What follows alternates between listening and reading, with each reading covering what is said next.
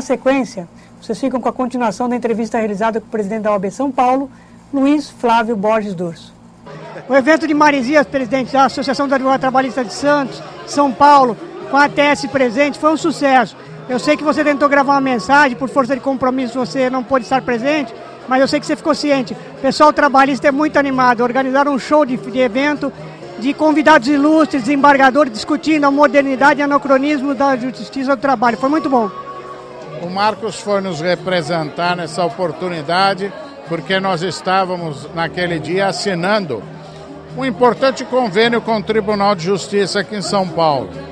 Um convênio é, que vai fazer é, com que nós, OAB, é, organize está, estudantes de direito e estagiários, 250 cadastrados para um mutirão na justiça. Esses estudantes vão para o cartório, sob orientação de funcionários, vão ajudar na dinâmica do trabalho do cartório. O foco principal agora, primeiro, é na vara da Fazenda Pública, por causa dos precatórios. Nós queremos agilizar o processo de precatórios para que o juiz possa decidir e de uma vez por todas o cidadão possa receber o que é direito seu. Precatório é sentença, é decisão judicial definitiva, só resta pagar. Mas tem uma burocracia, tem uma fila e isto se eterniza. Então a OAB, que luta muito contra essa vergonha dos precatórios aqui no Brasil, está dando sua contribuição neste pacto, neste convênio celebrado com o tribunal trazendo os estudantes para voluntariamente ajudar na tramitação desses processos. E esses estudantes vão receber o certificado das horas trabalhadas. E isto vai ajudá-los a, a completar o tempo que tem obrigatório de atividades extracurriculares que eles precisam para poder obter a sua conclusão de curso, o seu diploma. Você devia saber que os advogados trabalhistas, presidente, você agora pôs os meninos para estudar direito, advogados, a mulher cuida das finanças, você devia saber de horas extras, registro de carteira. Presidente, eu pensei o que dá de presente ao Durso, que tem de tudo. Então, por favor, Alexandre, Solange, por favor, eu comprei um livro, porque o Durso, ele foi na homenagem do Natividade para os advogados de São Vicente falou que a pessoa tem que ter tempo para tudo. Então eu comprei esse livro para você. Organize-se num minuto. É um presente, um mimo para você, presidente. Muito bem. Organize-se num minuto. 500 dicas na casa, na família, no trabalho e nas férias. Que bom. Isto aqui certamente vou ler, vou apreciar e certamente vai nos ajudar.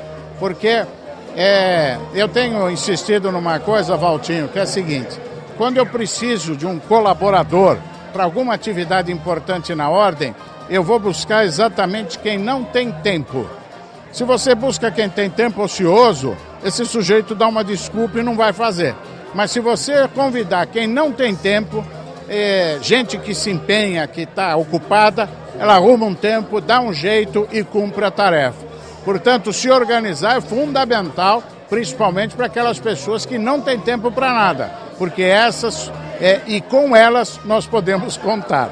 Obrigado, meu presidente ele jantar, ele sempre gentil, ele atrasa o jantar para falar com o direito de cidadania. Obrigado, viu? Obrigado, Valtinho. Parabéns a você pelo seu trabalho. Eu te convido para estar conosco no Colégio de Presidentes, onde vamos reunir os 224 presidentes das subseções do Estado para tratar de assuntos que são importantes para a cidadania, questão política, questão de corrupção, a questão das bandeiras da OAB históricas e a questão do dia a dia da advocacia, a defesa das nossas prerrogativas profissionais, a, o ensino jurídico, a, a, questão que envolve o nosso Tribunal de Ética, a ética profissional, mercado de trabalho, enfim, uma oportunidade onde os presidentes, lideranças de todo o Estado de São Paulo estarão reunidos debatendo assuntos de interesse, portanto, da cidadania e da advocacia. Você é nosso convidado para que, é, com o seu programa tão querido pela advocacia, possa estar lá cobrindo esse grande momento e levando a toda a advocacia, não só daqui da Baixada, mas de todo o estado e de outros lugares deste país, a informação tão preciosa para que os nossos colegas possam continuar esse trabalho importante que fazem em prol da sociedade. Obrigado, Marcos. Mas quando o teu representante não está presente com a sua presença, ele fica falando que quer ser presidente do São Paulo Futebol Clube. Marcos Acosta, você tem que trabalhar pela OB ainda, não inventa moda não. Bem, amigos, estamos de volta para o estúdio. Mas infelizmente o nosso programa de hoje chega ao seu final. Espero que tenham gostado da entrevista realizada lá na OAB de São Vicente. Agradecer a nossa parceira ATS de Santos, Gerson e Thelma e mais demais diretores. O programa Direito e Cidadania vai ficando por aqui, mas você já sabe, ele é feito assim, com carinho para você e sem juridiquês. Até o próximo programa.